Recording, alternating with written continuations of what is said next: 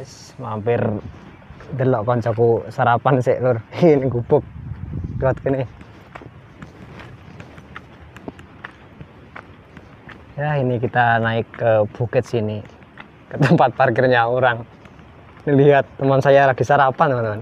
Wis mau kon sarapan sih gelem. Enak mas, lawa apa lah gue? Monggo lur, Eh? mam. Nah, Wong lawuh ndok telur ceplok lur. telur ceplok.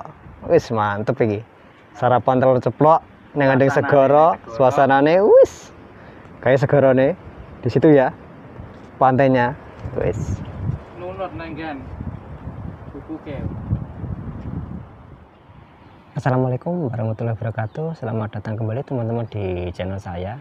Nah, di video kali ini saya sedang berada di dekatnya Pantai Gurah Blitar ya teman-teman. Nah, ini nemu spot yang sangat menarik teman-teman.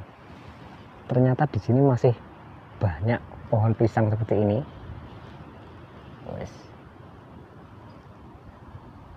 Dan ini memang dibudidaya teman-teman. Nah ini kebun pisang ini sangat strategis dan fasilitasnya cukup lengkap teman-teman. Ini ada tempat parkirnya, ini khusus untuk yang punya ya teman-teman. Dan yang paling penting adalah nah ini, ini yang paling dicari ada fasilitas yang namanya WC. ini penting sekali ini. Yes, keren pokoknya. Asik ngevlog di kebun pisang ternyata sambil jalan-jalan. Ini hampir sama dengan yang di dekatnya Pantai Mudangan. Itu banyak kebun-kebun pisang seperti ini. Memang komoditas buah pisang itu kelihatannya sangat menarik teman-teman. Kita coba sambil jalan melihat suasana di dalam kebun pisang ini.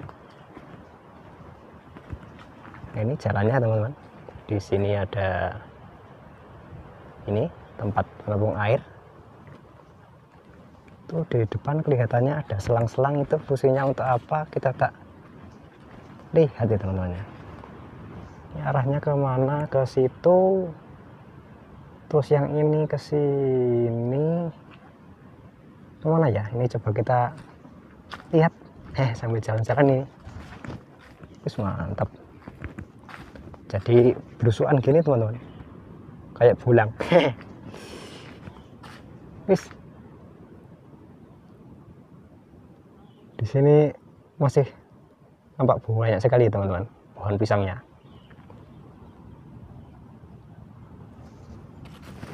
Ini kira-kira bisa berapa ribu pohon gitu loh teman-teman ya. Dan untuk cara penanamannya ini kalau kita amati dari setiap satu pohon induk itu disisakan ini teman-teman. Sekitar dua atau tiga eh dua ya. Dua tunas anakan seperti ini. Mungkin ini memang caranya seperti itu. Itu sama ya rata-rata ya teman-teman ya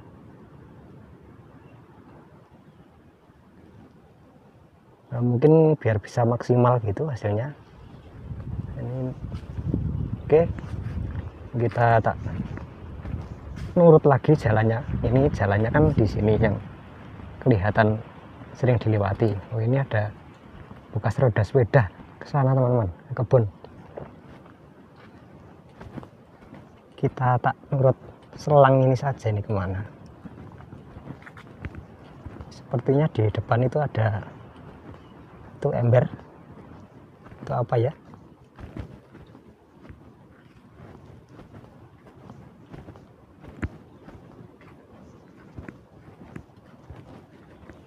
Oh, ternyata di sini ada penampungan air, teman-teman. Nah, semacam ini terpal ini ya, yang ditata sedemikian rupa sehingga ini difungsikan untuk menyiram tanaman ya mungkin teman-teman ya, atau untuk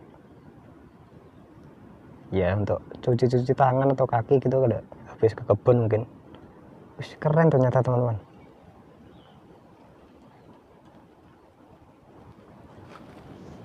kita jalan lagi ke kanan itu ada apa di sini kita lihat spotnya kok jos banget ini kelihatannya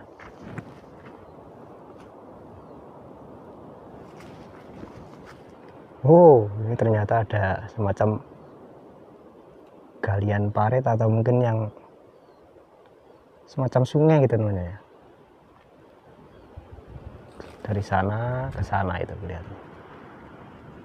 Dan kelihatan juga untuk pemandangan alamnya di daerah pegunungan sekitar sangat-sangat alami sekali teman-teman di sini. Itu di sana. Mantap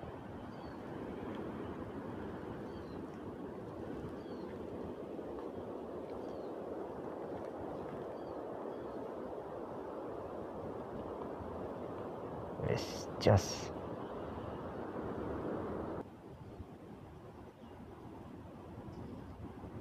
Oh iya ini hampir lupa. Ini dari tadi ngomongin pisang tapi ini saya kurang tahu ya teman-teman ini jenis pisang apa? Pohonnya ya tidak terlalu tinggi banget tapi sudah berbuah ya teman-teman. Rata-rata ini seperti itu.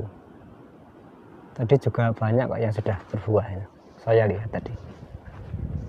Mungkin teman-teman ada yang tahu bisa komen ya atau mungkin yang bertani pisang bisa memberi informasi ini jenis pisang apa. Dan omsetnya itu untuk satu tangke itu seharga berapa itu bisa mungkin dikasih informasi sebagai ya motivasi lah atau mungkin sekedar informasi buat mungkin teman-teman lain yang membutuhkan informasi tersebut oke dan mungkin cukup sampai di sini dulu video saya belusuan kali ini di kebun pisang teman-teman ya Terima kasih sudah menonton. Semoga sedikit menghibur. Semoga bisa menjadi inspirasi buat teman-teman yang lain yang mungkin ingin bertani pisang. Sampai ketemu lagi di video selanjutnya dan jangan lupa di subscribe.